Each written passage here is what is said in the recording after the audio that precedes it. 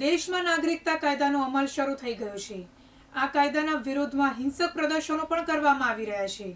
પરંતુ તેના વિરોધ અને સમર્થન વચ્ચે વીસ વર્ષ પહેલા પાકિસ્તાનમાં થઈને સુરત આવેલા એક સિંધી પરિવારને આ કાયદાને કારણે ભારતીય નાગરિકતા મળવાની આશા બંધાઈ છે. દસ સભ્યોના પરિવારમાં સાત મહિલા અને ત્રણ પુરુષોનો સમાવેશ થાય છે. આ પરિવારને હવે કાયમી ભારતીય નાગરિકતા મળવાની શક્યતાથી તેમણે ચહેરા પર ખુશીની લાગણીઓ જોવા મળી રહી છે.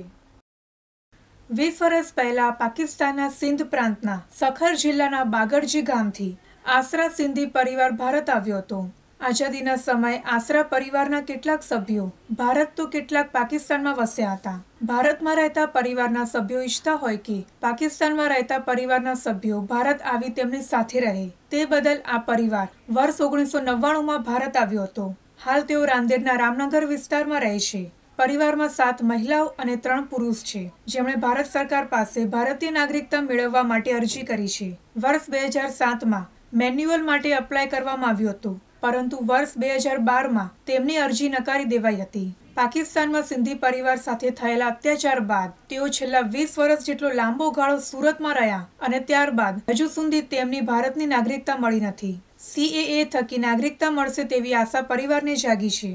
પરિવારના આનંદભાઈ કહે છે કે, નાગરિકતા મેળવવા માટેની આખી પ્રક્રિયા ખૂબ જ જટિલ હતી. આથી અનેક મુશ્કેલીઓનો સામનો કરવો પડ્યો હતો. ચૂંટણી કાર્ડ કે આધાર કાર્ડ કે કોઈ દસ્તાવેજ ન હતા. પણ હવે આ કાયદાને કારણે અમને આશાનું કિરણ દેખાઈ રહ્યું છે.